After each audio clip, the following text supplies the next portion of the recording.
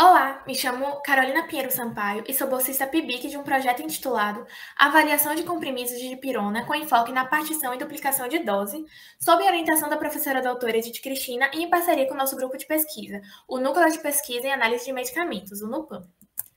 A dipirona é um dos medicamentos mais utilizados para o tratamento da dor e da febre, sendo um potente analgésico e antipirético que faz parte da classe dos ANES, os anti-inflamatórios não esteroidais, sendo indicada para patologias como cefaleias, neuralgias e dores reumáticas.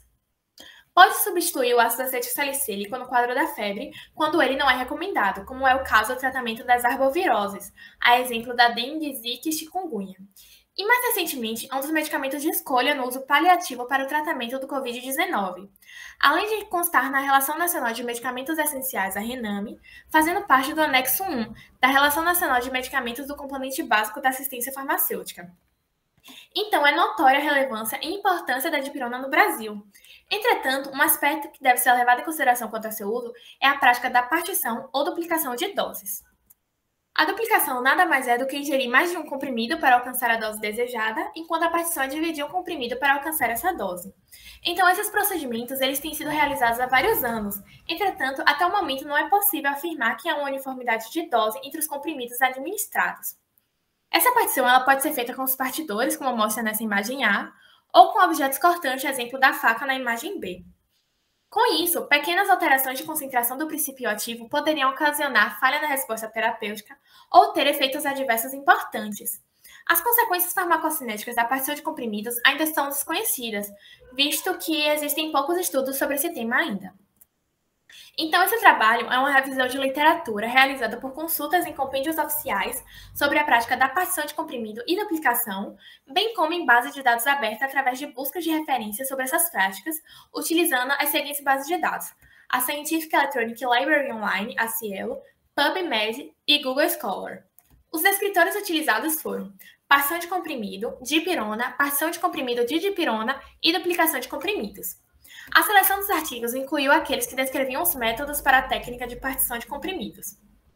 Então, qual, qual a vantagem e desvantagem dessas práticas? Como vantagem, a gente tem a flexibilização de doses, a facilidade de deglutição, principalmente para as pessoas idosas e as crianças que possuem mais dificuldades, além da redução de gastos com medicamentos. E como desvantagem, a gente tem a dificuldade de partição, divisão em partes desiguais e perda de produto. Geralmente, essa divisão ela resulta em variação do peso entre as partes do comprimido, podendo alterar o resultado terapêutico, dificultando assim a determinação da resposta ao tratamento. É, os compêndios oficiais nos trouxeram que a, a, Agência Nacional de Vigilância Sanitária do Brasil, Anvisa, ela não possui nenhuma norma publicada a respeito. Possui apenas uma recomendação sobre essa prática em seu site. Já em março de 2001, a Farmacopeia Europeia foi a primeira a incluir o teste de homogeneidade de conteúdo ou de massas para partes subdivididas de comprimidos sulcados. Enquanto nos Estados Unidos, embora não exista padrão estabelecido para partição de comprimidos, a Farmacopeia Americana, USP, estabelece critérios para comprimidos inteiros, determinando que a variação de peso ou homogeneidade de conteúdo de cada comprimido ela deve estar entre 85% a 115% do declarado.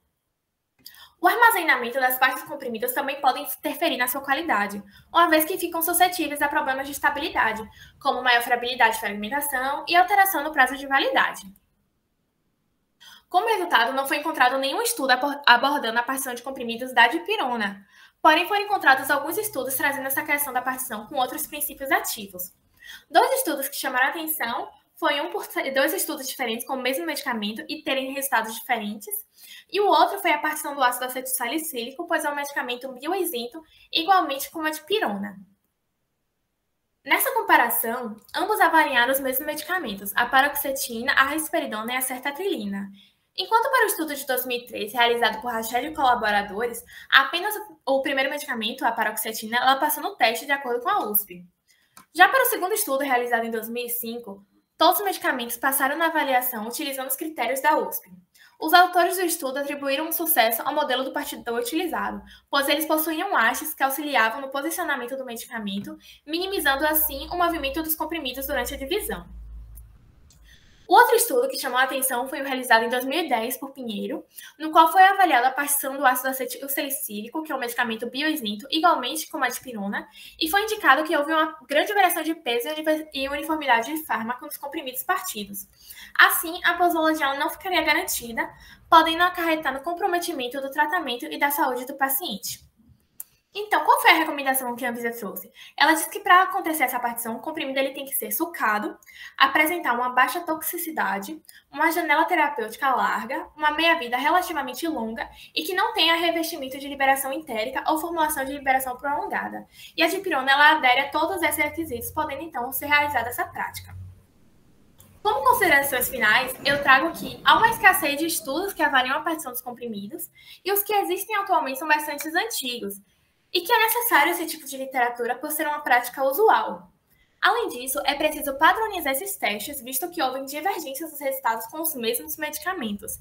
Então, exatamente por ser uma prática recorrente, é preciso que o método para avaliar essas questões estejam presentes na farmacopeia brasileira. Por fim, eu gostaria de agradecer a atenção a todas e agradecer a oportunidade de falar sobre esse projeto, que é tão importante e tão atual. Muito obrigada.